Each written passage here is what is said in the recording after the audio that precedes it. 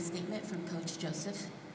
Um, first of all, I, I obviously want to compliment Ohio State. I thought that they, um, obviously, they're very, they're tremendously talented. Um, Jantel Lavender, to me, is one, the best post player in the country.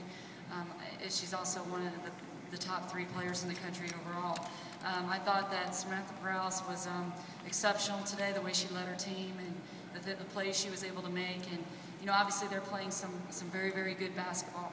Um, at this point in the season, it's very hard to play on a home court in the NCAA tournament, but I'm very proud of my team, the way we battled um, on both ends for the entire game. Um, I thought that, um, you know, they came out, played that box and one, and believe it or not, we kind of we looked at the tape of their, them playing box and one today, so we kind of knew that that was a possibility. Um, didn't spend a tremendous amount of time on it, but we've seen box and one and triangle and two this year, so we weren't completely surprised.